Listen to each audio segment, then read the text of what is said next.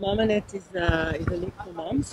Uh, I'm sure you got all the technical explanation. I think two, three years ago, uh, I heard about it, and I remember that I used to play when I was uh, seventh grade or something, and um, then I tried, and I got hooked more or less immediately uh, because um, you know since you are uh, a kid, you don't after after that you don't have a chance to play any group play. I mean, you can do sports, you can do yoga, you can walk or run or bicycle and stuff like that. But the fun of the game, you know, the competition and so on, and with bunch of moms which are more or less same age, same situation.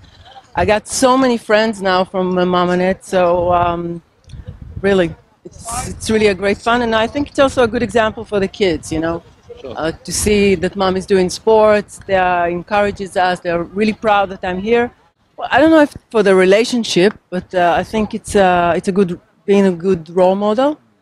Um, first of all, doing sports, which is important, and secondly, we are also involved, you know, in some contribution to community.